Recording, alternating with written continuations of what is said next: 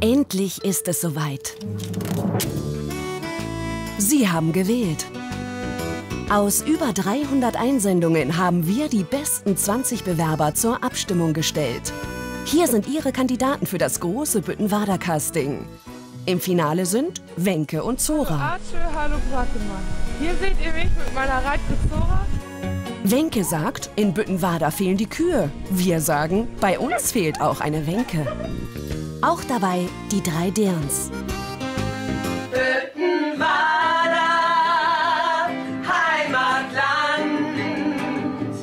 Ist das vielleicht die neue Hymne für Büttenwader? Gleich nochmal Musik, diesmal mit De Inspringer.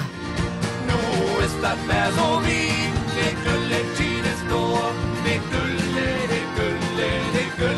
Ja, ja, die Güllezeit, die ist wirklich so schön.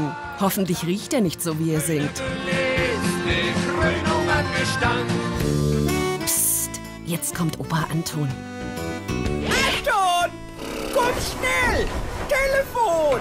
Die NDR ist dran! Genau, denn auch du bist im Finale und du hast große Pläne. Wir freuen uns schon wahnsinnig auf deine Biogasanlage. Und Büttenwader Next Generation. Ziemlich verrückter Name, aber das ist die wohl mit Abstand verrückteste Idee. Respekt, Jungs.